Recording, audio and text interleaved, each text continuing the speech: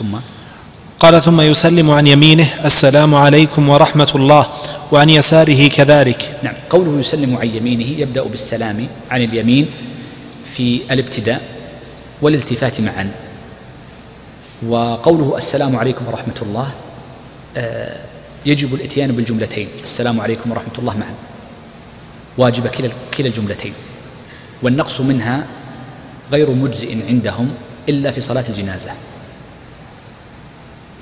والزيادة عليها وبركاته أو وبركاته يقولون الأولى تركها لأن هذه الزيادة غير ثابتة بل إن الكتاب الذي ورد فيه سنة أبي داود في بعض النسخ ليست موجودة فدل على أنها فيها ضعف شديد فالأولى تركها.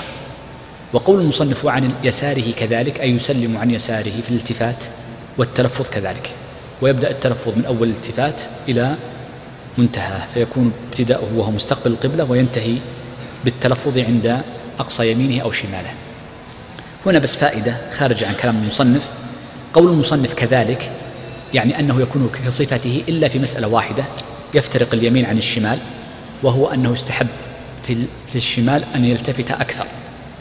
وقد جاء في حديث مرفوع ولا يثبت وصحح البخاري كما نقله الترمذي في العلل الكبير أنه موقوف على الصحابة أظنه عقبة أنه أن, أن النبي صلى الله عليه وسلم كان إذا التفت يمينه التفت حتى يظهر بياض خده الأيمن وإذا التفت عن شماله التفت حتى ظهر خد بياض خده الأيمن الأيسر والأيمن معا مما يدل على أنه إذا التفت في يساره فيستحب أن يزيد في الالتفات نظرا ووجها.